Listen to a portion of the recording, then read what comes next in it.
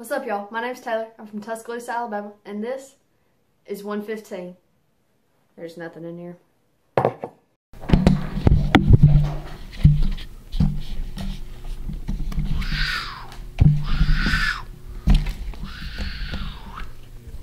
Yeah, yeah, yeah.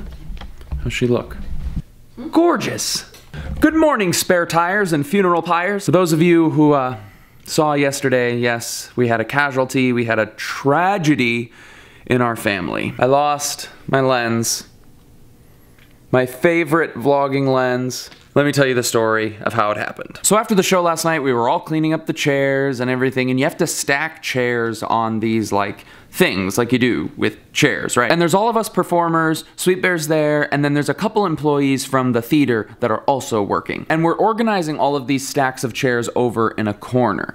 And all of a sudden I look over and I hear someone go, oh no.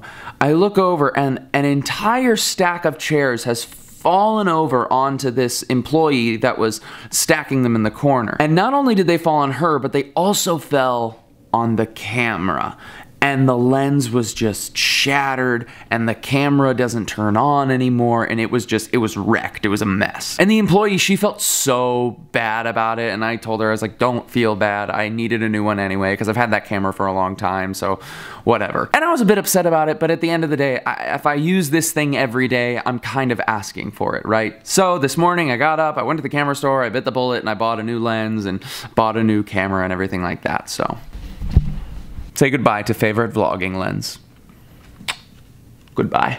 Okay, so my sister is on her way over right now. She's coming over. We're gonna make breakfast and just hang out for a little bit because we don't get to see her enough. Sis, what'd you bring? I, I brought a cantaloupe.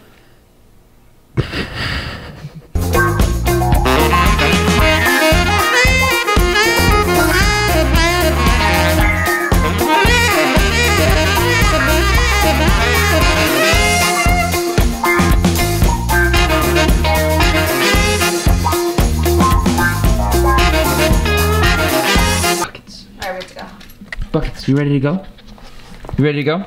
All right, Kayla's gone. Keys, thank you. Buckets, come here. Kayla's gone. Buckets. We're hopping in the car Buckets.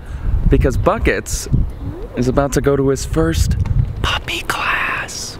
Warning, Buckets overload about to happen on the vlog. Don't say I didn't warn you.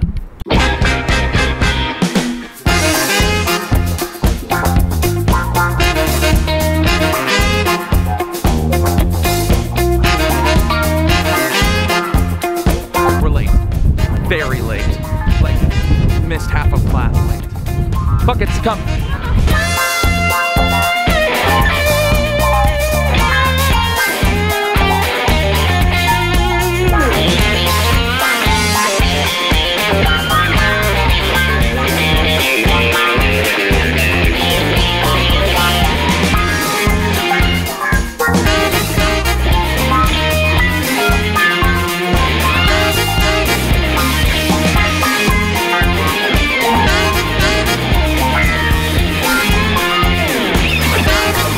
Did you have so much fun? Was it fun?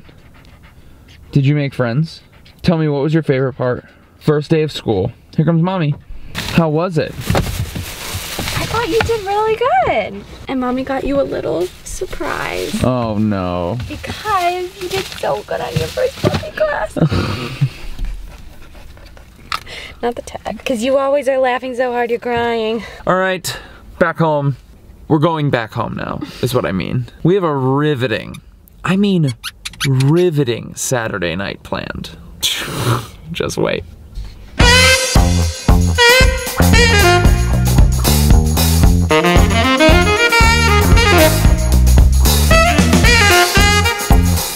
Hmm. Good morning, or evening.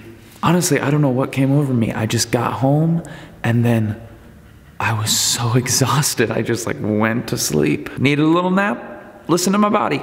So I want to break down for you all something that I learned today or something that I'm currently learning and working through and chewing on in my mind. When we were at puppy class, it became very apparent to me very quickly that we weren't really training the dogs as much as we were training us. We weren't teaching the puppies as much as we were teaching ourselves how to teach the puppies. The owner actually has to be more disciplined than the puppy. The puppy might not know what the command or the intention is, but as long as the owner is clear on it, the puppy will follow suit. And to me, this was a really clear, strong metaphor for leadership in general. I'm getting ready in a couple months to lead three summer camps with over 100 students each week and a team of 12 to 14 staff members that I am being asked to lead. And I think a lot of times as leaders, we get this idea that we have to train our team or we have to teach our team or our team has to know what the goals and intentions are. But the reality is is that the best leaders are the ones who are the most disciplined themselves. The best leaders teach themselves. The best leaders are the ones who are clear with the goal, the vision, the intention, and then the team follows suit. Now, this isn't to say that if you're a mom, you should train your kids like dogs, or if you own a business, you should treat your employee like a puppy. That's not what I'm saying. You see, when there was a problem in puppy class, whenever I felt that Buckets wasn't getting something, it was really easy for me to be like, why aren't you getting this? But actually, what I needed to be doing in that moment is I need to be asking myself, what am I not doing or what am I doing to make this command unclear? Maybe the problem isn't the puppy. Maybe the problem is the way the owner is communicating. And so what I'm saying is, is that if you're running into trouble in your leadership, whether it be in a business, whether it be at school, whether it be with a team you lead or coach, or whether it be with your children, maybe the problem that you're running into, it's not the team. Maybe you need to take a look inside and say, what am I doing wrong? How am I not being disciplined? How am I not communicating this vision clearly enough? By the way, when I said that Sweet Bear and I have like a really rowdy Saturday night planned, I didn't mean that I was gonna go home and take a nap. That was an accident. What I meant was that we were gonna go home and just do a bunch of work. Sweet Bear's got a lot of calligraphy orders to do. I have new speaking engagements to prepare for, working on new stuff for the bookstore, writing the new book. We just got a lot of stuff to do. So in order to take the day off totally tomorrow, we're gonna buckle down and work hard tonight. So I apologize if the vlog is super boring from here on out. If anything interesting does happen, it will be on the other side of this hand. All right, we're at dinner now. We're not at dinner. We don't go out. We're on the whole 30. Uh, we're having zucchini noodles. Zucchini sketty. Zu zuschetti. What is it? Spaghetti zoodles. Z- zoodle spaghetti zoodles, something like that. We're eating this, delicious, and uh, not that embarrassing. we're watching Mockingjay Part Two, cause we never saw it. I still don't know how it Yeah, ends. Jon doesn't know how it ends. I still don't know He how. never finished the book. Can you give a guess? I think everybody dies. Everyone? I don't know. This will probably be the rest of our night. As I said before, if anything more interesting happens, you'll find out on the other side of this hand. Nothing interesting happened for the rest of the night. Keep being awesome. They all died in Hunger Games. No, they didn't.